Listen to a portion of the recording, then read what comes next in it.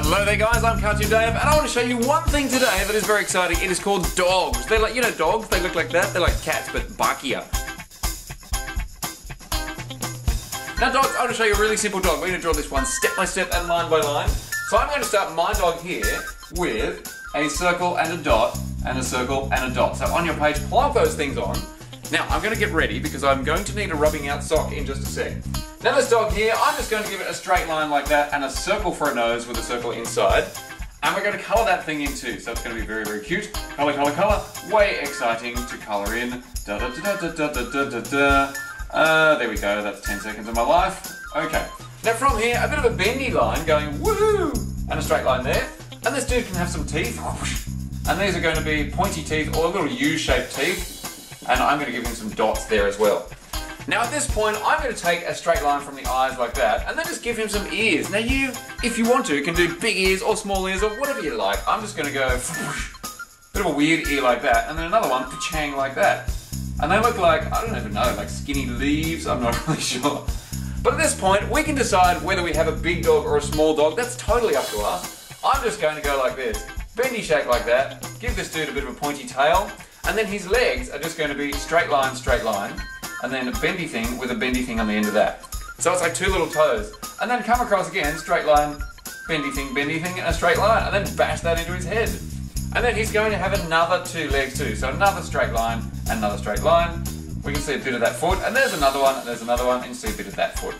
And if you want to get very fancy, you could colour in these two last legs that we drew, because they're in the background. They're a bit shadowy and mysterious. Now this dog here, that's a totally cool dog, and if you want to leave it like that, that's how it will stay forever, and everybody will love it. But if you want to change it, we can do lots of different things too. Look, it doesn't take much to change our dog. We can use the same idea that we had before, but maybe just change his face, or her face, we haven't decided yet.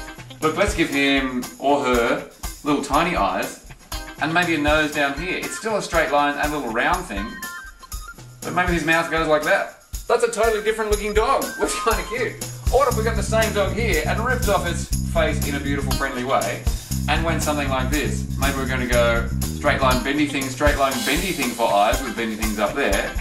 And then we're going to go, and it's going to have more of a pointy face. Look at that, that's exciting. That's a fine looking dog.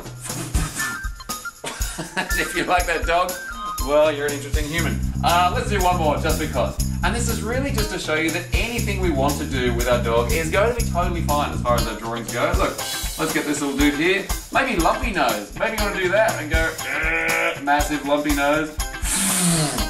Humongous looking face. And you can do another bit over there and some whiskers and stuff and make him angry and weird looking. You can take this guy's body and maybe change the body, make it a little bit smaller if you want to. Because the cool thing is, if it's your drawing, it's nobody else's. But look, the same idea is there. It still has a body, it still has little feet, it still has a tail. Is it still a dog? Of course it's still a dog. Weird, strange little dog, but it's a dog because it has all the bits that dogs need.